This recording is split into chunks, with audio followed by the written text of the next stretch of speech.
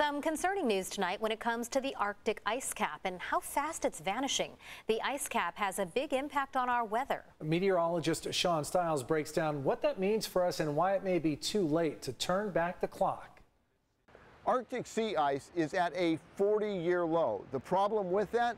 The Arctic Circle is one of the main cooling mechanisms for the planet, and that has got scientists worried.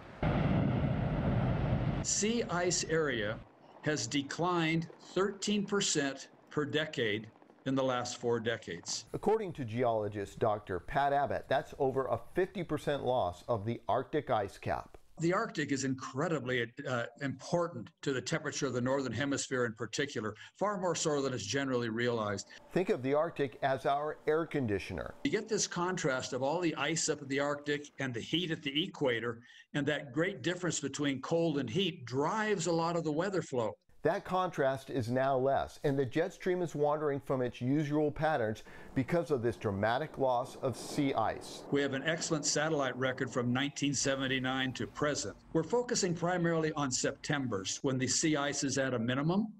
And, it, and during that 42 years, the sea ice area covered is down to about 50% of what it was. And when you look at volume, the thickness, it's only 20% of what it was we also melt it underneath by the warming ocean water. And warming it underneath, you are thawing the older, thicker ice. With less ice to reflect the sun's energy, it's absorbed and warms the ocean. And the warmer waters not only makes more ice melt, but come the next winter, it makes it harder for new sea ice to form. With climate lag time, the hope is that we haven't passed the tipping point. We can't recognize a tipping point in advance, and that's the nasty thing. If you knew where the tipping point was, there'd be a motivation to act.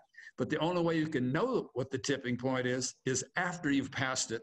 And of course, by definition, once you've passed it, now it becomes virtually impossible to reverse. With sea surface temperatures in the eastern Pacific well above average over the past couple years, the question now is, have we reached that tipping point when it comes to melting sea ice in the Arctic?